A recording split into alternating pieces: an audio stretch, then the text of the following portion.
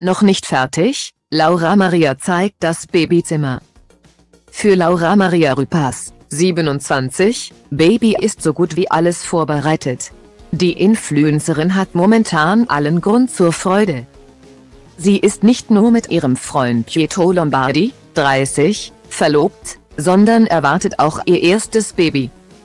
Lange dürfte es nicht mehr dauern, bis sich ihr Nachwuchs auf den Weg macht.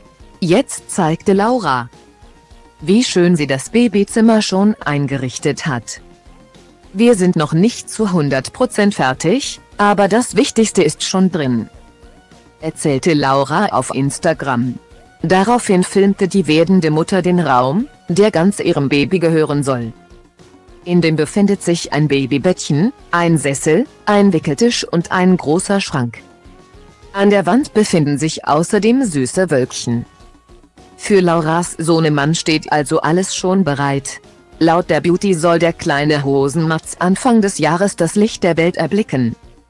Aktuell wächst mein Bauch richtig. Der Kleine wächst und macht Action, gab Laura ein Update.